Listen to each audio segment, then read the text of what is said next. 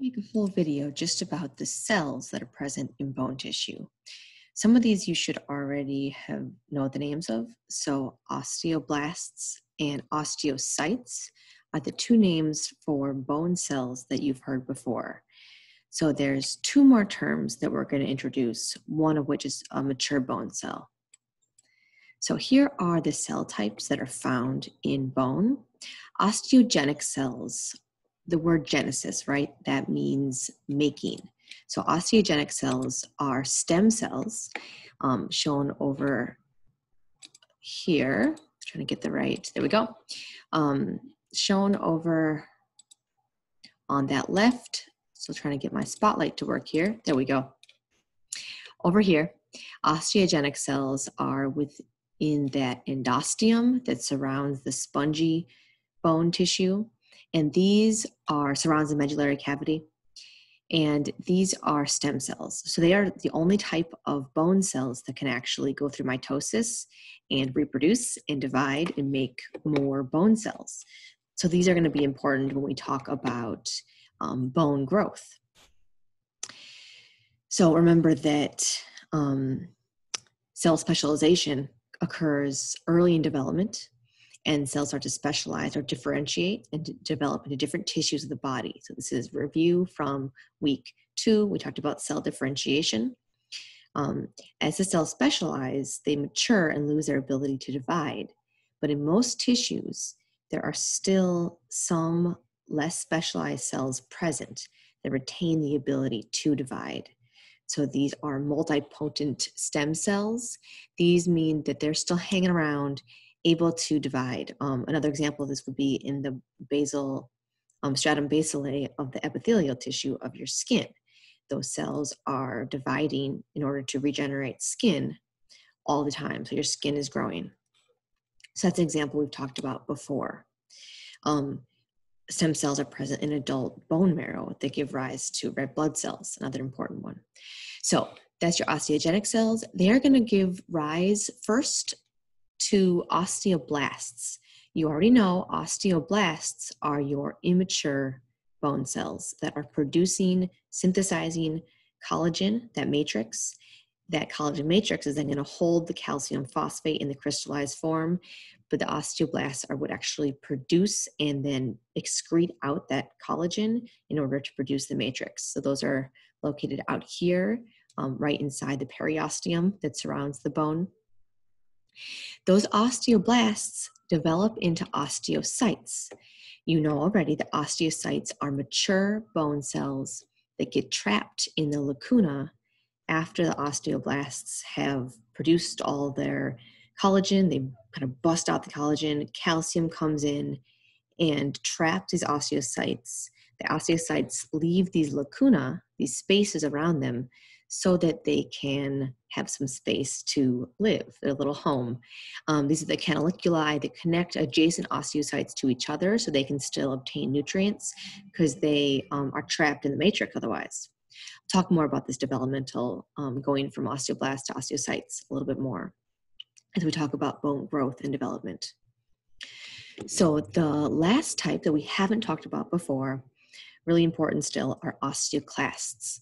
So down here, um, these are larger cells. They have multiple nuclei, as you can see in this picture. They're kind of unique in that way.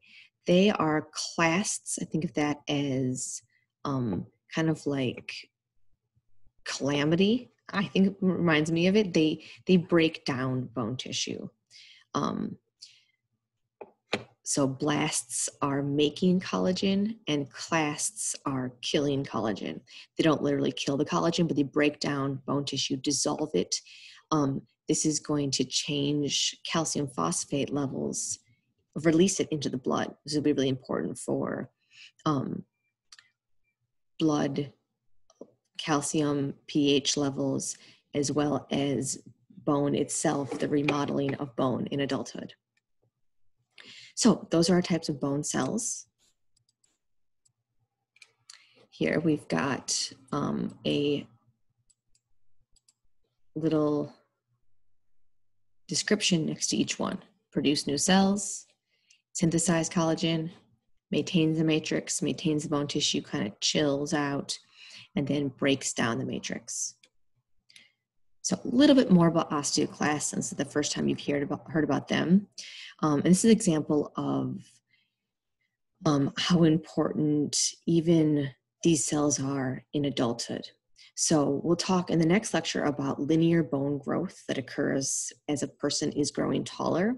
Um, even beyond that, though, bones still are dynamic tissues that undergo continual remodeling throughout life, and osteoclasts are really important for that. So they attach to inside here. They're kind of um, in this matrix here, the bone matrix attached to that endosteum, and they're kind of like a, a suction cup. Um, they're going to actually secrete HCl, so acid, um, hydrochloric acid, oops, is going to break down the bone tissue. So that acid breaks down the calcium phosphate crystals um, and releases calcium into the bloodstream. Osteoclasts also produce like proteolytic enzymes, protease enzymes that work at a low pH, and then that's going to break the combination of acid and these enzymes are going to dissolve the bone tissue. So I like this image for kind of showing that um, process, literally eating away at the bone and releasing this con- that material into the bloodstream. So, quick learning check here. What I want you to do is match each of these four cells based on these kind of schematics of the pictures. I have a hint for you here. There's arrows. So this is like the order the cells develop in. Match each picture with the name of that cell. These are not in order here. Um, and then the functions of each one. So please pause to do that. Okay, so this was our stem cell, osteogenic cell produces new cells. Osteoblasts on the matrix, matrix synthesizing cells, produce new bone matrix.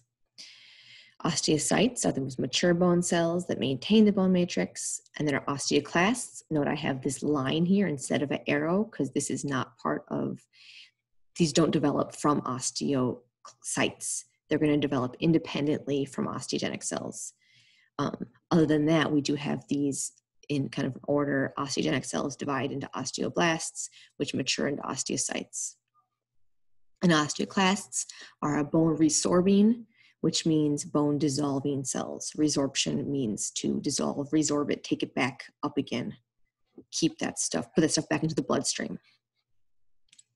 Okay, another um, way of kind of understanding this is to look at where dysfunction occurs so osteoporosis, you've probably heard of this, um, especially in people who, so one risk factor is um, older age.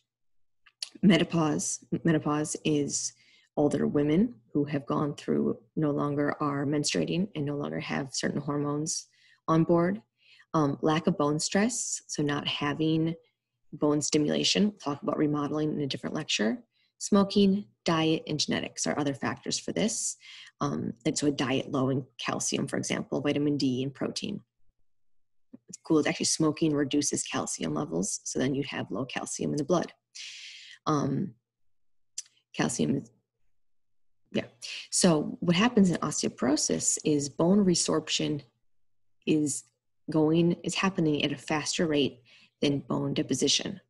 So bone is being broken down faster than it's being deposited. What cells are more active in these individuals compared to other cells? So osteoclast activity is more than osteoblast activity. And we'll come back to this with bone remodeling as well. But this is a way to apply your knowledge of these cell types into how they can um, certain dysfunction. One more learning check that's application of this. Um, so postmenopausal women, women are at higher risk for osteoporosis. Um, estrogen levels decrease at menopause. So with these two pieces of information, do you predict that estrogens increase or decrease osteoclast activity? You don't know for sure, right? But given the information, what would you predict and explain? So hopefully you predicted that estrogens normally decrease osteoclast activity. And menopause, when um, a female has estrogens decrease, then you would have osteoclast activity increase. Um, this is causing bones to resorb more than before. And this actually is one of the mechanisms um, for older women why they tend to get osteoporosis more often. Okay, what we've done here is list and describe the cellular and extracellular components of bone tissue. This one's kind of integrative of things we've done before, right? So this should have been review the different cell types that are present as well as collagen and calcium phosphate. This one overlaps with that a bit. So explain the roles of specific bone cells in the formation, maintenance, and destruction of bone tissue. So osteoblasts, osteoclasts, osteocytes, osteoclasts. Um, and then also knowing the terms, um, the, the, stem cells that are osteogenic cells. Ossification is a term that I um, don't think I said. We will be looking at that more with growth. That's the production of bone tissue. So ossification is the making of bone tissue.